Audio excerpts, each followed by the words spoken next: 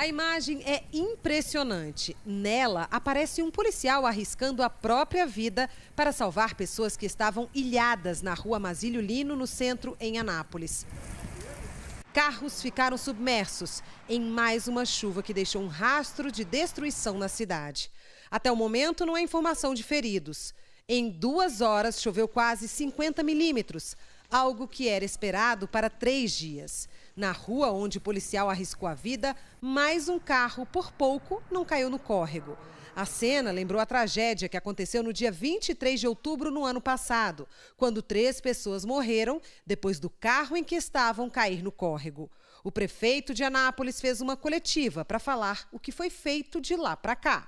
Nós fizemos todas as limpezas da boca de lobo, das bocas de lobo, para que essa água pudesse fluir mais rapidamente. Nós colocamos o guarda-reio na Masílio Lino, que segurou muito, deu tempo da pessoa sair do carro ontem. Então nós temos trabalhado com sinalização. Agora, no que diz respeito à, à questão da engenharia, num período de chuva como esse, você vai conseguir fazer obras paliativas, mas não vai conseguir fazer realmente obras gigantescas, obras estruturantes que resolvam de uma vez por todas.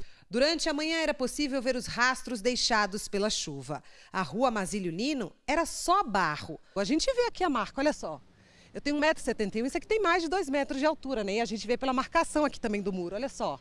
Poucos metros dali, o dono de um restaurante passou a madrugada limpando e vendo o que dava para aproveitar. Essa foi a pior enchente que já teve aqui. Pra você ter uma ideia, ó, mais de 2 metros.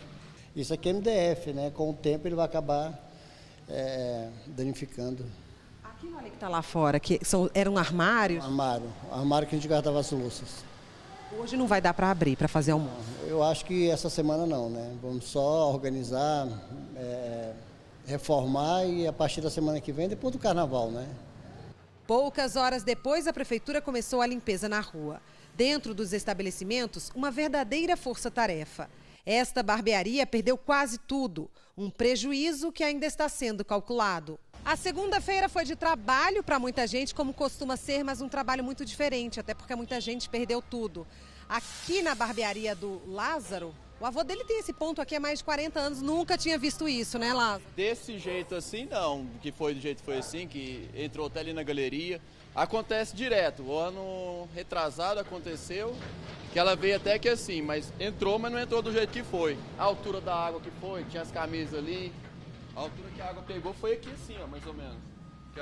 Hoje a família está aqui em mutirão para poder dar conta, tirar toda essa sujeira que estava aqui dentro. Sim, a gente chegou aqui ontem, eram as 10, 9 horas, saiu daqui eram as 3 da manhã, porque estava puro barro. Agora que está mais organizado, mas a hora que a gente chegou aqui estava tudo virado. A geladeira estava aqui, as cadeiras estavam tudo aqui assim virada.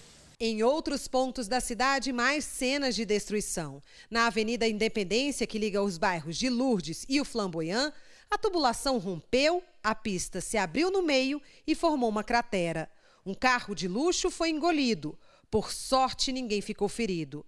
Vidas não foram perdidas, mas pertences, móveis, objetos adquiridos ao longo do tempo se acabaram em meio à lama. No bairro Recanto do Sol, as marcas na parede mostram a altura que a água chegou. O pior, pela segunda vez em três meses e meio. Em outubro, estivemos nesta mesma casa para mostrar o que a chuva causou. O que sobrou daquela época se acabou com a chuva do domingo. Graças a Deus não tinha ninguém na casa. Eu cheguei, deu tempo de eu retirar, né, subir um pouco as coisas para cima da cama e sair de dentro da casa. Mas assim a água veio mais ou menos é, para cima da cama, para cima dos colchões. Então, assim, por mais que a gente tentou salvar alguma coisa, infelizmente não deu certo. Vários eletrodomésticos que foram perdidos da outra vez, ela conseguiu recuperar.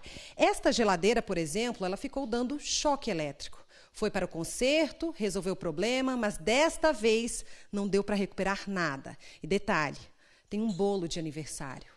Ontem, no dia que tudo aconteceu, era aniversário da Lohane.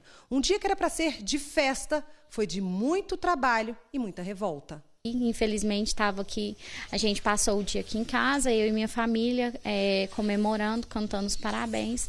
E à noite, para encerrar a noite, esse é o presente que eu tive. A prefeitura disponibilizou um canal para ajudar pessoas que estiverem desabrigadas ou desalojadas pode procurar a Secretaria da Integração Social, que já está percorrendo os quatro cantos de Anápolis, para que a gente possa estar pagando o aluguel social, para que a gente possa estar dando dignidade para essas pessoas morarem em um novo local.